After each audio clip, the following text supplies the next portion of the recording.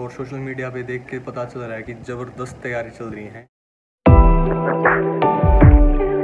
Hello everyone welcome back to my new vlog सुबह के हो गए हैं सेवन सेवनटीन और अपने सब्सक्राइबर्स भी अभी सेवन की लाइन में चल रहे हैं। फ़िलहाल मैं तो अभी थोड़ी देर ऊपर घूम के आ गया हूँ और नीचे मानसी थोड़ा घर के काम कर लिए, थोड़ी सी ट्विटर सेवा कर रही है। जैसा कि आप सबको पता होगा कि 14 जून का कबीर साहब का प्रगट दिवस है तो उसी के उपलक्ष्य में तीन दिन का अखंड पाठ होगा और इस बार एक दो जगह नहीं, चार पाँच जगह नहीं, कम से कम नौ, दस जगह पे कबीर साहब का प्रगट दिवस मनाया जाएगा।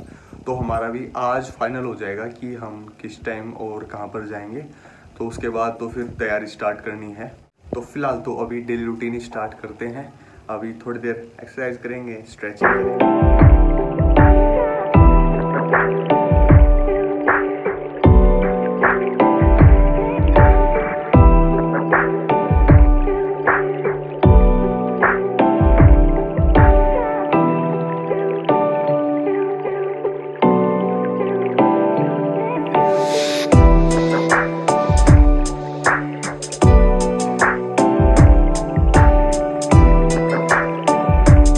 कि आप देख सकते हैं, मैं तो रेडी हो गया हूँ, लेकिन आज मेरा ब्रेकफास्ट और लंच लेट हो गया है।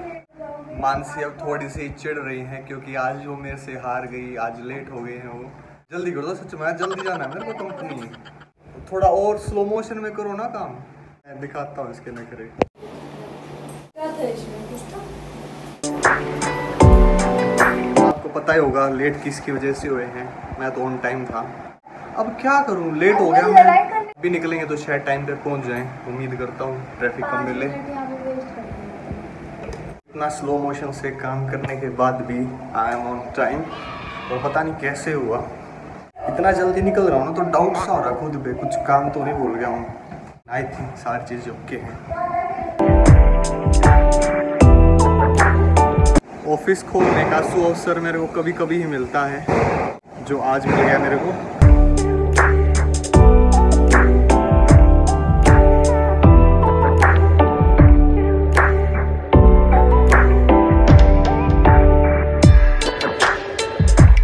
आज शायद मेरे को दूसरे प्लांट में जाना पड़ सकता है क्योंकि मेरे सीनियर सर अभी मॉर्निंग से ही वहीं पे हैं। Few inches later. फाइनली दूसरे प्लांट में जा रहा हूँ मैं। यहाँ से पाँच छः किलोमीटर है वहाँ पे मेरे सीनियर सर हैं और किसी गाड़ी का इंस्पेक्शन चल रहा है तो उसी काम के लिए मैं जा रहा हूँ।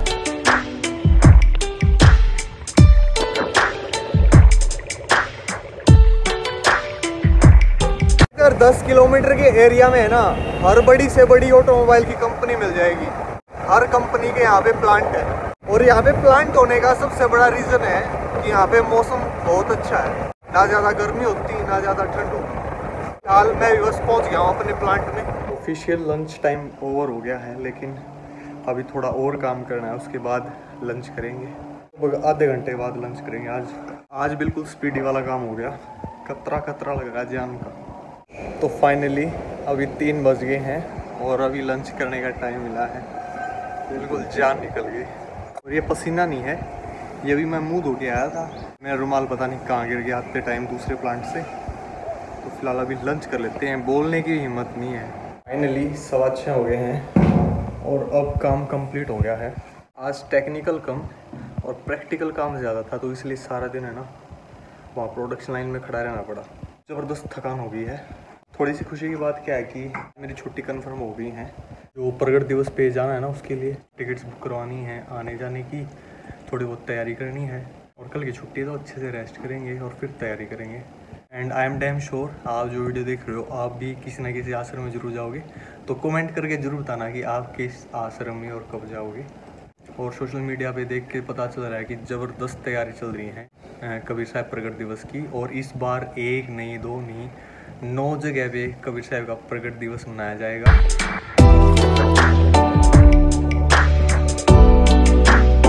फ़िलहाल अभी साढ़े आठ हो गए हैं।